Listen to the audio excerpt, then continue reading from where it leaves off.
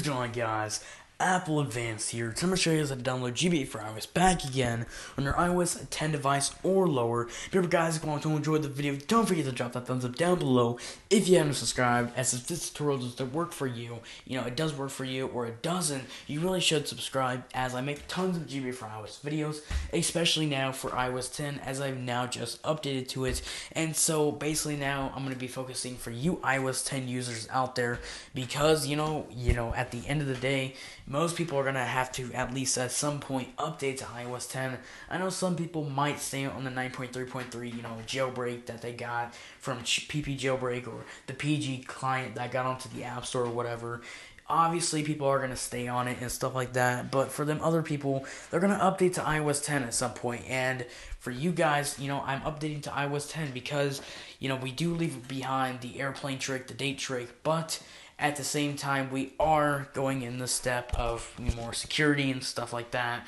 As um, you know, obviously, that's an older version. Like iOS nine is gonna become a older version and you know more people and more people are just gonna get onto iOS 10 so might as well start making iOS 10 videos now. Now also I said I was gonna make an NDS for iOS video when iOS 10 drops. And basically what I have to say is that I did find a method for iOS I mean NDS for iOS and um, I was like okay so nobody has made a method on this and really nobody has made a method on this and I'm just gonna wait it out till iOS 10 drops and then upload the video turns out by the time I'm, iOS 10 drops and I make the video, it doesn't even work. So I looked online, nobody actually made a video on NDS for iOS. So basically, Apple is starting to do research on their own. They're starting just to type it on, you know, Google NDS for iOS, iOS 10, you know, and they're trying to revoke them. They're trying to take it away, which is at the end of the day sad, but at the end of the day, we also love Apple. It's a love-hate relationship, okay?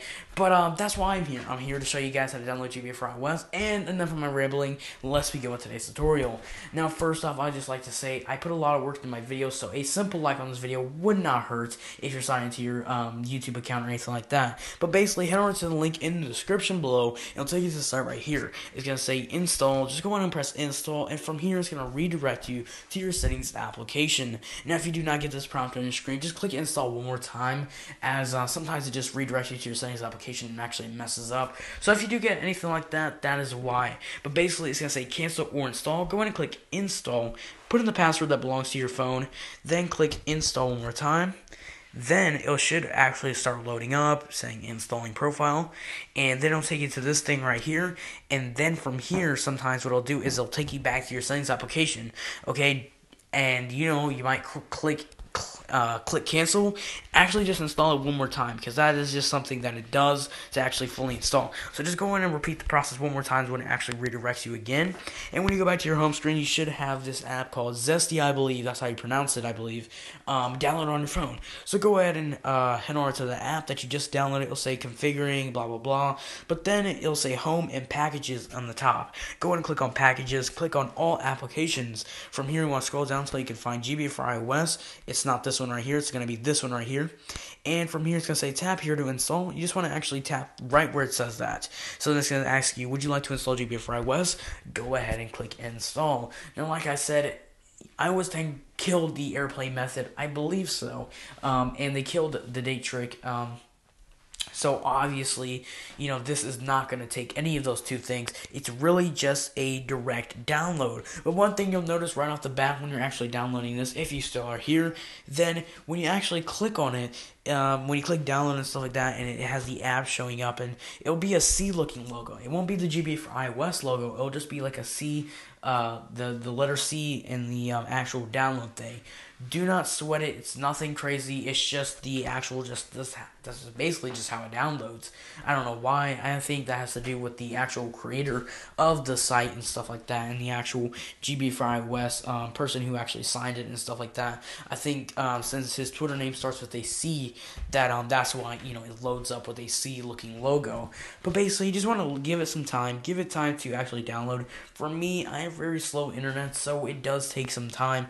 But remember, guys, if it does not download, that just means it was revoked by Apple. So you know, don't hate on me, hate on Apple, honestly, because I do get a lot of people asking me, you know, telling me, hey, it doesn't work. Why do you why do you even make these videos if they don't work? Because I'm, I mean, you're probably watching an old video. That's probably why. Because you know, at the end of the day, Apple just hates us for these type of things.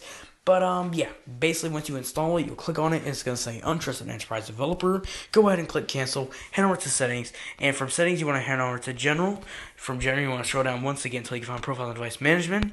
Once you find profiles device uh, device management, you want to click on asset development. Click on that. Click trust. Click trust one more time, and there you go. You have access to GBA for iOS back again on iOS.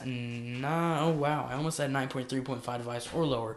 What I really mean is on your iOS 10 device or lower. Remember, guys, if you haven't subscribed, go to subscribe right now. If you haven't already dropped a like on this video, go ahead and do so right now. As each and every person who likes a video or even leaves a nice comment down below just it just really goes a long way with me. But without further ado, guys, let's on this end this video off with iOS 10 has been released. I mean, I can't believe it myself, and I bet you guys can't believe it. Um, but yeah, we've been all waiting for it, and it's been released. So yeah, good luck with GB for iOS. Enjoy it while you can, and uh, yeah.